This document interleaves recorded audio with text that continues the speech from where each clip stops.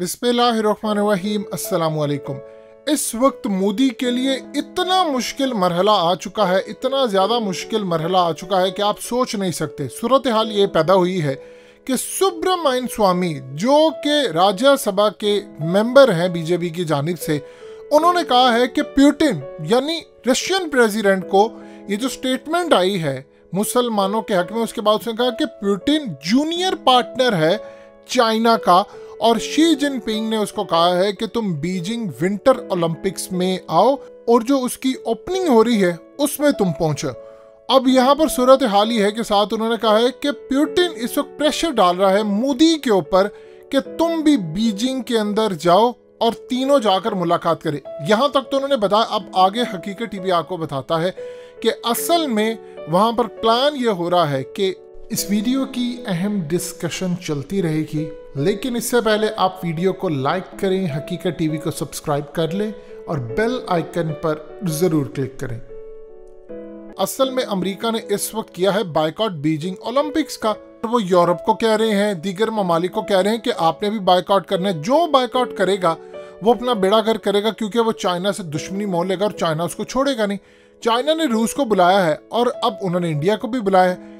US ये चाह रहा है कि पूरी तरह इंडिया बाइकआउट करे। अगर बाइकआउट करता है इंडिया इस वक्त तो फिर आप जेन में रख लीजिएगा रूस उसके हाथ से गया, और आप भूल जाए कि मुस्तकबिल के अंदर कोई भी उनकी फेवर होगी, और इस तरह इंडिया आज एक लकीर खींच देगा, जो कि अभी तक उसने अपना कैंप असल में चूज़ नहीं किया।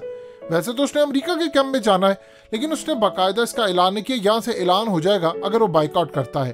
अब इस सूरत हाल के अंदर वो कह रहे हैं कि अगर आप आ जाते हो बीजिंग के अंदर तो मैं शी जिनपिंग से बातचीत करवाऊँगा आपकी, यानी आप वहाँ पर उनसे मुलाकात करें और फिर शी जिनपिंग आप पर हाथ होला रख देंगे, यानी रिलैक्स कर देंगे और फौरी तौर पर जो हमला करना है इंडिया पर या उनके जो ज़मीन लेनी है, उसमें कुछ ना कुछ मैं रिलैक्सेशन कर दूँगा।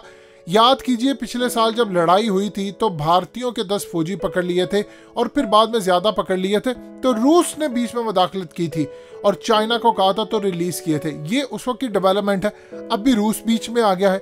अब यहाँ पर अगर मोदी बाइकआउट कर देता है तो फिर वो गजब का निशाना बनेगा और अगर वो चला जाता है तो फिर अमेरिका इंडिया को नहीं छोड़ेगा। वो कहेगा, मैं बाइकआउट की कैंपेन कर रहा तुम मेरे तहादी होकर तुम उसके साथ चले गए लिहाजा मैं तुम्हें नहीं छोड़ूँगा। अब आप देख लें कि उसके बाद चाइनीज़ मीडिया ने सुब्रमण्यन स्वामी, उसको कहा है कि तुम सी के एजेंट हो। ये इंटरेस्टिंग सूरत हाल उनके मीडिया के डायरेक्टर्स और कॉलमनिस्ट उन सबने वहाँ पर कहना शुरू कर दिया है कि तुम सी के एजेंट हो। तुम नहीं चाहते कि तीन ग्रेट नेशंस इकट्ठी हो जाएँ और तुम असल में अमेरिका को खुश करना चाहते हो और तुम नहीं चाहते कि बीजिंग, न्यू दिल्ली और मॉस्को मिलकर काम करें, क्योंकि वॉशिंगटन यानी अमेरिका, ये होता हुआ नहीं देख सकता। अब बड़ी मज़ेदार सिचुएशन हो गई है यहाँ पर। हम तो देखिए ऑलरेडी अपना कैंप चूज़ कर चुके हमने जाना है चाइना के साथ। आहिस्ता आहिस्ता हम उधर जा रहे हैं। भारत कहाँ पर खड़ा होगा? उसके साथ क्या होने जा रहा है? उसको समझ ही नहीं आ रही। अब यहाँ पर अगर आप अमेरिका के खिलाफ जाते हैं तो अमेरिका आपकी इंट से इंट बजा देगा। अब एक चीज़ आप जहन में रख लीजिएगा। यहाँ पर अगर इवन के मोदी नहीं भी जाता लेकिन वो बाइकआउट भी नहीं करता। तो फिर भी मोदी फंसता है। क्योंकि बीजिंग ओलंपिक्स क्या आप बाइकआउट करके इसका मतलब है कि आपने अपने हमसाए से दुश्मनी ली है? देखिए, एक सूरत समझ लीजिए, इस वक्त मामला तय हो रहे हैं इंडिया के।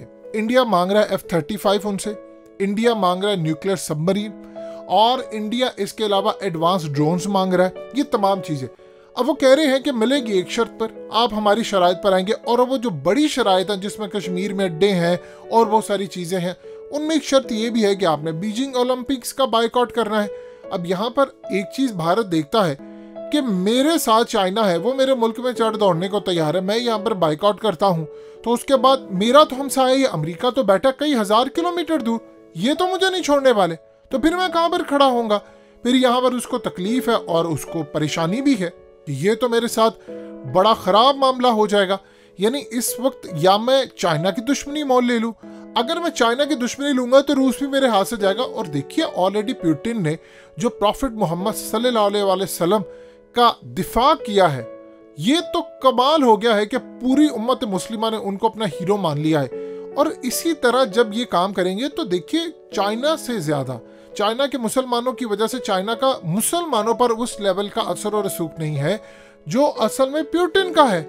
अब यहाँ पर इंटरेस्टिंग सूरत हाल पैदा होती है और ये असल में देखने वाली सिचुएशन है।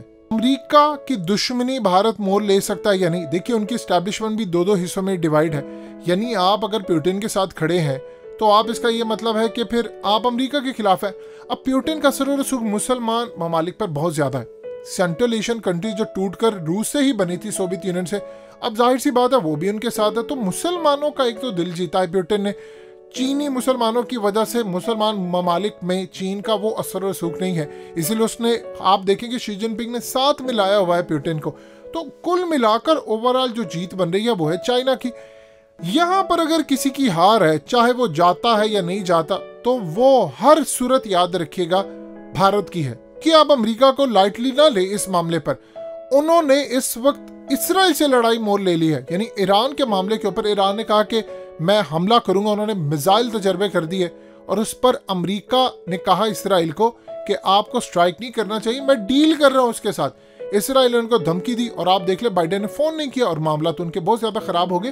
तो इस सूरत हाल में खाली इमरान खान के साथ उनकी लड़ाई नहीं है। ज़ाहिर सी बात है, जो भी आप कह ले इसराइल जितना मर्ज़ी ताकतवर होगा, लेकिन अमेरिका एक सुपर पावर तो है और अकेली सुपर पावर है और इसके गिरने का मतलब है कि भारत भी गिरेगा साथ में। अब यहाँ पर जो सूरत हाल पैदा हो रही है कि अगर वो अमेरिका के खिलाफ जाते हैं तो कल को फिर याद रखिएगा, बहुत सारे मामला तो उनके खराब हो जाएँगे।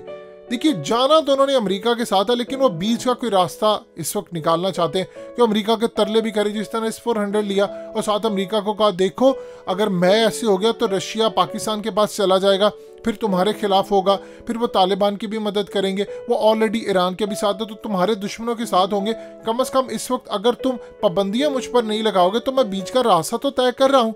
तो इस सूरत हाल में ब्यूटन का जो दौरा हुआ था मोदी के साथ, जब वो न्यू दिल्ली आए थे तो कोई ऐसी सूरत हाल नहीं है जो पॉजिटिव हो। सारी की सारी चीज़ें खराब ही रही हैं भारत के हक में। शी जिनपिंग बड़ा वाइजली प्ले कर रहे हैं। चाइनीज़ प्रेसिडेंट बहुत वाइजली प्ले कर रहे हैं। देखिए आपको जो सारी पॉलिसीज़ नज़र आती है, खला में जाना, ये करना, वो करना चाइना के सदर ने इसमें जो डेवलपमेंट की है, उन्होंने आकर जो मॉडर्नाइज किया है अपनी फौज को एयरफोर्स को ग्राउंड फोर्सेस रॉकेट फोर्सेस को, ये एक कमाल चीज़ है।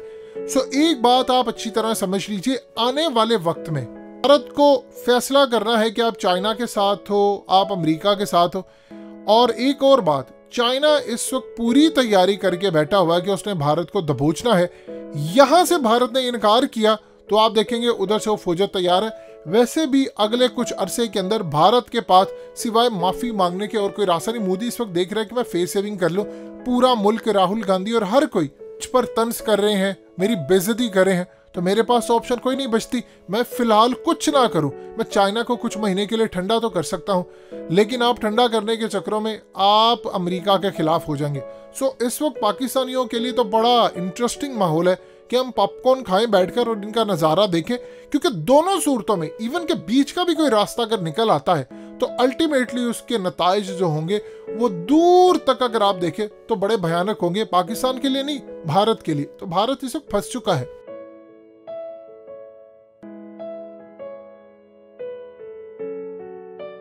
हकीकत टीवी को सब्सक्राइब करना मत भूलें, वीडियो को लाइक करें, शेयर करें और कमेंट सेक्शन में अपनी राय का इजहार ज़रूर करें।